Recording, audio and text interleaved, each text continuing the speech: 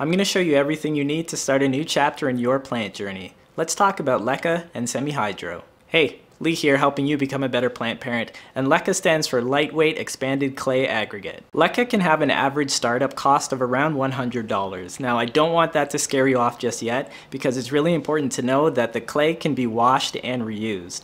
Also a lot of these materials you'll only need to buy once every 3 to 4 years depending on how many plants you actually have. And you really do need to compare that with soil plants. Think about how much money you're spending on every few seasons on different soil amendments over the course of several years. Here are all the materials that you'll need. Your plants cannot just live in water indefinitely. They'll eventually need nutrients to grow, and this liquid nutrient panel will get your plants what they need to grow and thrive. SuperThrive is a fertilizer solution that assists with stimulating root growth when transferring plants into a new medium. LECA can be found at IKEA in small bags for a fairly inexpensive price. I've used their brand and I've used a Grow It brand which can be found on Amazon in a 40 liter bag for around $39. You'll need a pH testing kit to ensure that your water is safe for your plants.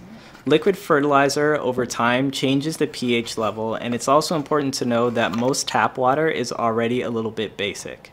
The kit I recommend in the comments down below is convenient since it has everything in it, but you can save a few dollars by just getting pH down and some paper testing strips. You can use any plastic planters that you already own, but to get more oxygen to your roots, I do really recommend using mesh planters. Another option is to buy self-watering pots, which can come in different sizes. You will need a few 1 gallon or 4 liter water jugs to make your nutrients, and trust me, this will make the entire process much more streamlined. Now that we have all our materials ready, let's mix our nutrients. I like to prep my water from the night before. I let the jug sit out overnight with the caps off so that any extra chlorine in the water can evaporate. Now you don't need to do this, but I do like to make sure that the fewer things that are there to harm my plants, the better. We need to start with adjusting the pH balance of the water. This is the most complex portion, but you will only need to do this once. Your tap water will likely be between a 7 and a 7.9. Anything higher than a 7 is basic, 7 to 14. Anything lower than 7 is acidic. We will need to use pH down to make our water slightly acidic. Between 5.5 and 6.5 pH is our goal. The tap water in my city is at 7.4 pH. I always add 35 drops of pH down to my water. When you're testing your water yourself, make sure you start off slow. So add about 5 to 10 drops of pH down, retest your water, and then continue adding more drops until you're at your perfect level. You'll only need to do this once because you're gonna write down exactly how many drops of pH down you need to add to adjust your water.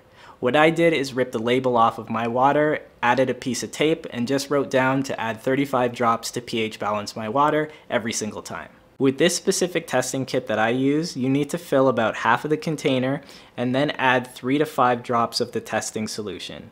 Compare the color in the tube with the color on the testing solution bottle to get your reading. And a really important note, pH down is corrosive, so do not get it on your skin. If it gets into your mouth or your eyes, you should probably go to a hospital. Be extremely careful.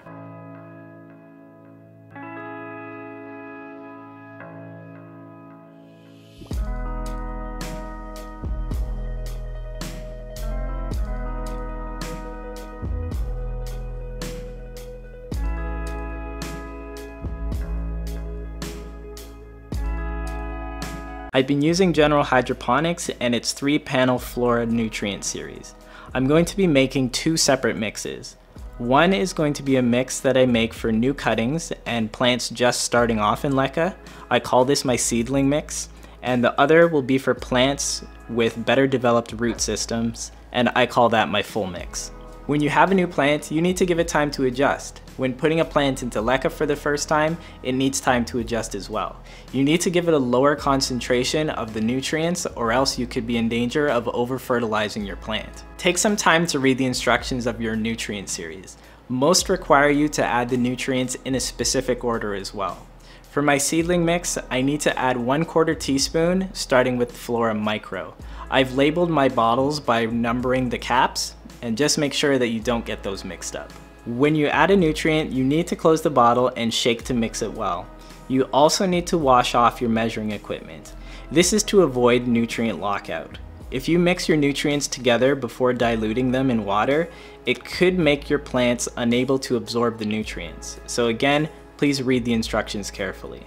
1 quarter teaspoon of Flora Grow, shake, clean your tools, and 1 quarter teaspoon of Flora Bloom, shake, clean your tools. After your nutrient series is mixed, you can add 1 quarter teaspoon of Super Thrive to help your plants adjust to its new medium. Finally, if you haven't done this already, you can pH balance your solution.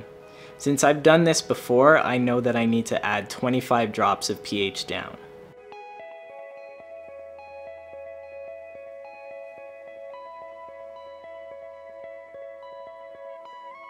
It isn't recommended that you use pH down directly into your nutrient solution, so what I do is I take a quarter cup of water, add my pH down to that, and add it to my nutrient solution. I just need to make sure I leave a little bit of room so that it doesn't overflow. When you're making your full mix, all the same rules apply. We add one teaspoon of each of our nutrient series, shaking each time, and cleaning our measuring tool each time. Again, I'm going to add 1 quarter teaspoon of Super Thrive and use the same method to pH balance my water. I keep these three bottles with me to maintain my plants in semi-hydro. A seedling mix, a full mix, and pH adjusted water.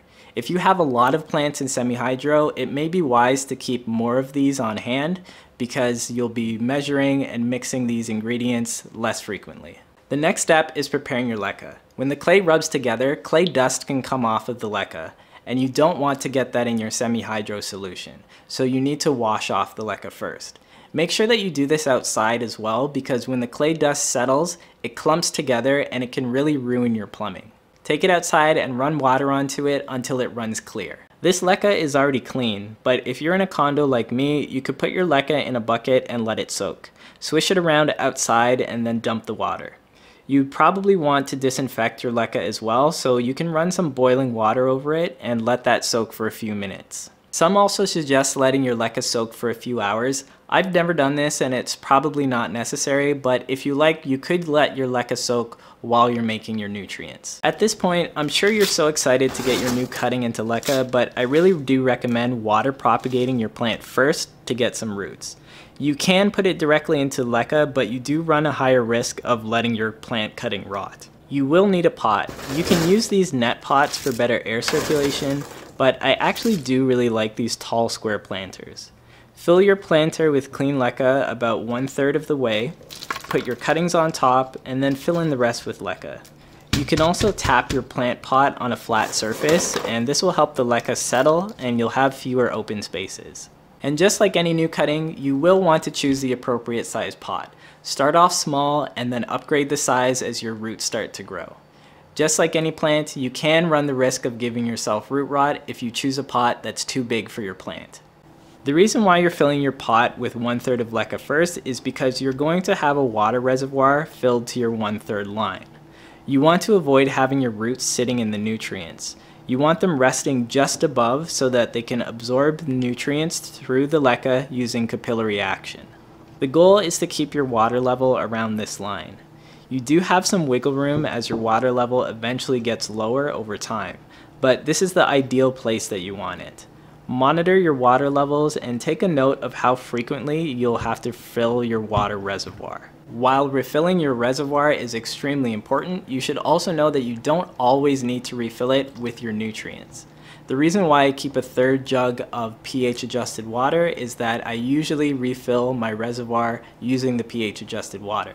I do clean and then refill my reservoir with the nutrient series about every two weeks, but I have gone three weeks and I haven't really noticed any negative side effects with my plants. You don't need to consistently top up your reservoir using your nutrient water because it's also a possibility that your plant can't absorb all of those nutrients. Eventually you'll start to see salt and mineral buildup that looks like a white crust on top of your leca. And that brings us to cleaning our plant on flush day. Like I said, I clean my plants every two weeks by flushing the unabsorbed nutrients out of the system. Take your plant to the sink and make sure you have close to room temperature water as you can, not too hot, not too cold, and run your plant under the tap for about a minute. This cleans off the roots and gets rid of any mineral buildup on your leca. Once your plant is clean, you can clean the sides of the container if you want, and then you're ready to restart the whole process again. You can also transfer a plant living in soil into leca. I choose not to do this myself, but you can take it out of its pot, remove every last bit of soil until the roots are all white by washing it in the sink. It sounds like a nightmare and you do run the risk of putting your plant into shock and delaying its new growth until it adjusts to its new medium. When your plants are in leca, especially if you're using net pots, your roots will come out of the sides and the bottom of your pot. When your roots start to go down into your nutrient water, those roots could end up rotting. You'll need to monitor this and then realign your roots. Take the plant out of your pot and put the leca at the bottom third of your container.